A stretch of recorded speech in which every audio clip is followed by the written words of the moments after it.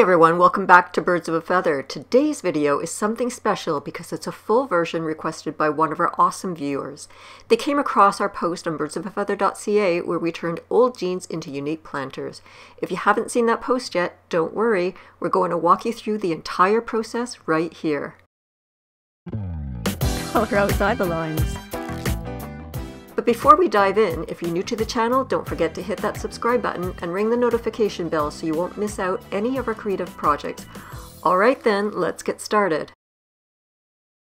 Before we get our hands dirty, let's go over the materials you need for this project. Old jeans, make sure they're clean and ready for a new purpose. Click the link in the description for the full list of materials that you'll require. Don't forget decorative elements. These are optional, but you can add buttons, patches, or anything else to personalize your planters.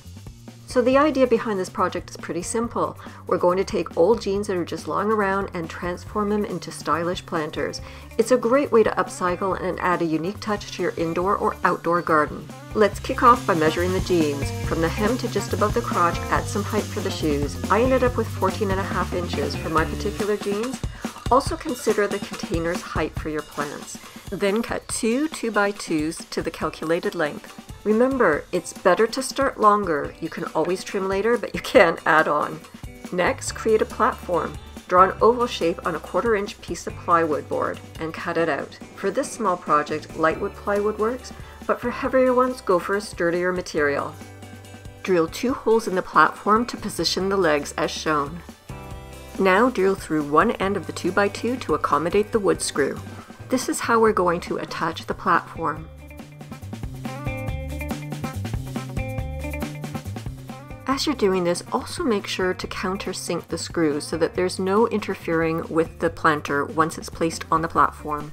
We're going to temporarily screw the platform into the legs so that we can set the legs into the shoes and add the cement. Place the wooden legs in the shoes, and then we're going to move on to padding those legs. Now let's fill out those legs.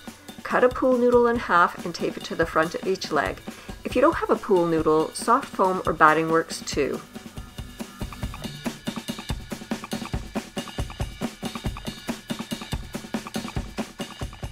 Moving on to stability, fill those shoes with cement. But first, insert plastic bags to prevent the water from the cement mixture soaking through. Mix the quickset cement in a plastic container that's disposable and be sure to follow the package directions. It will explain how much powder and water to add into the container. It's always best to start with your water first and then you're going to add the powder into the water.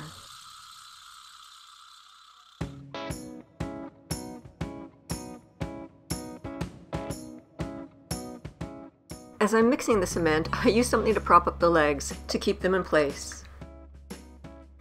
Give the cement a good mix before using it, then pour it in and tamp it down well. But before you pour, be sure to remove whatever you use to prop up the legs or else it's going to become permanently embedded in the cement.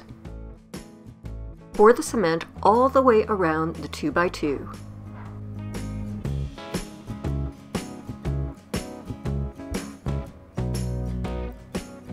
Once it's partially filled, tamp it down to ensure even distribution, and then continue filling until it's totally full.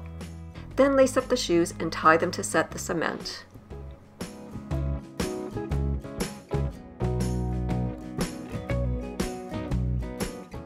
Before leaving that to dry and moving on to next steps, cut away the excess plastic with scissors.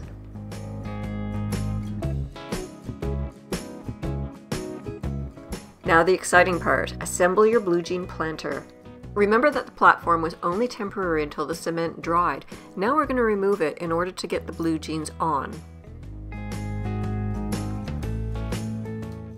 Add the pants, reattach the wooden platform, and if necessary, adjust the fit. You can also add some additional padding.